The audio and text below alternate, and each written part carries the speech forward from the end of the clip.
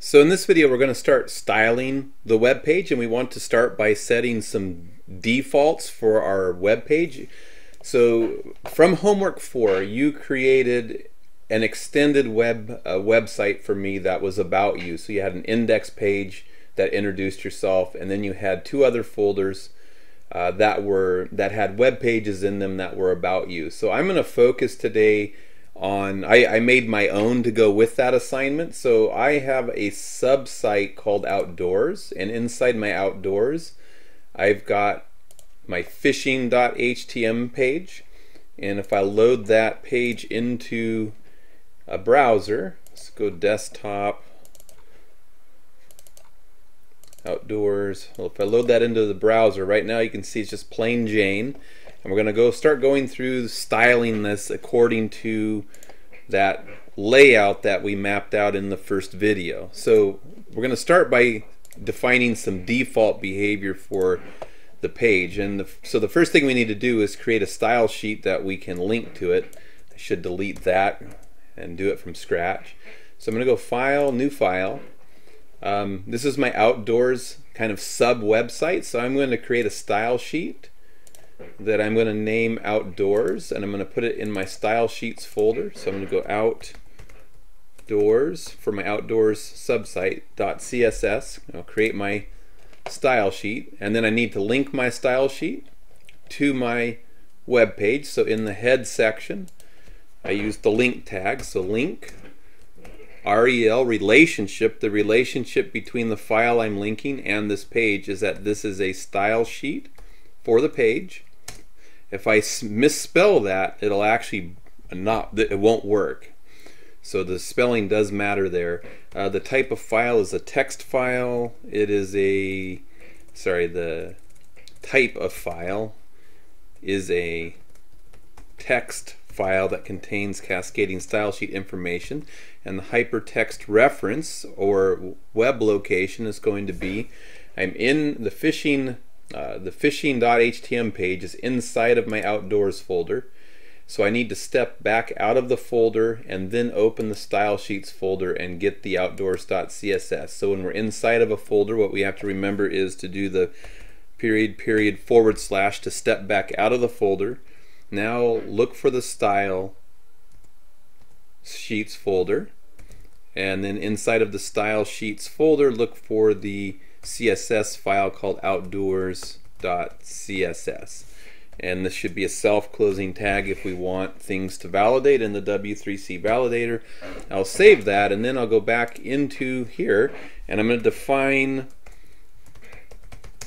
some default behavior for the web page or pages. Every every page I put this link in will behave based on the style sheet, uh, style sheet information. So uh, usually what you want to do is use the asterisk uh, selector. So the asterisk selector in CSS, when you use the asterisk selector, instead of like div or p or p or the, the usual HTML selectors.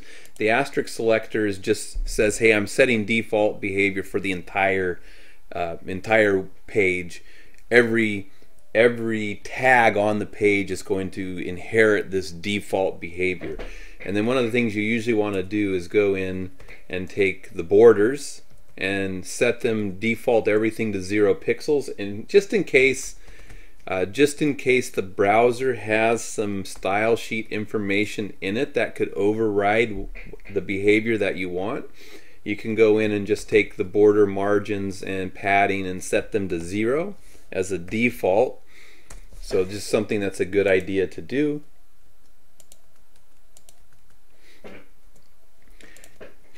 So I'm setting some default behavior on my page. Every block level element starts with no border, no margin, no padding, and if I want it to have those uh, those values, I will assign them myself. Uh, we're going to set our font family. So we'll set this to Arial as my default font, and then if there's no Arial, do a sans serif font and then I get all persnickety because I like the stuff to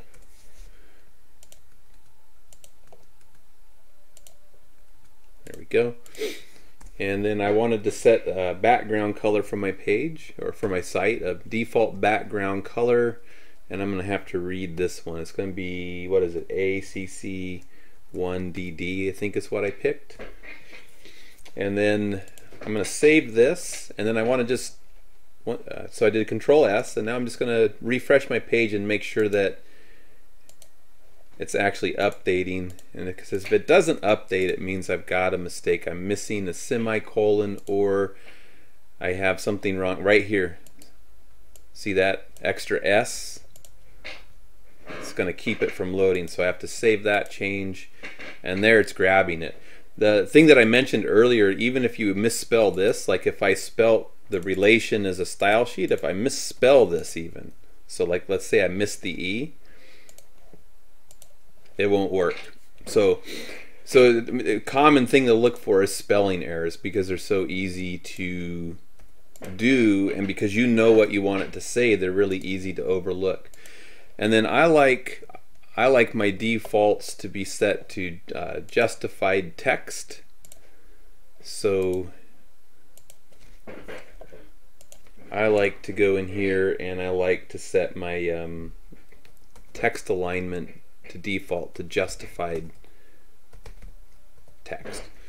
So that's going to set my, the asterisk selector is used to set defaults for the entire page.